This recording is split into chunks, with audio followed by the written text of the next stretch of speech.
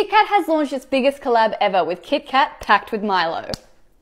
What are you doing? We're not supposed to eat it yet. Oh, sorry, I found it on the bench. Is that alright? That's fine. At least you're eating it correctly. This is a new range and I'm really excited to try. Do you guys mind? I'm trying to make an ad here.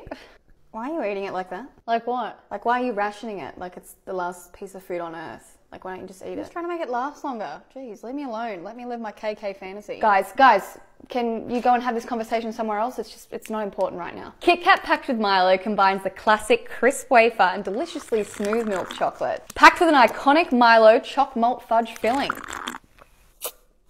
What on earth are you doing? What? It's the only way to do it. It melts all the Milo fudgy deliciousness. All right, well, we clearly have different ways of enjoying a break, but the new Kit Kat packed with Milo is now available in a bar, block, and chunky. So how will you choose to eat it? As long as you're not one of those psychopaths that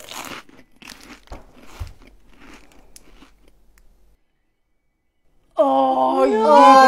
Why would you do that?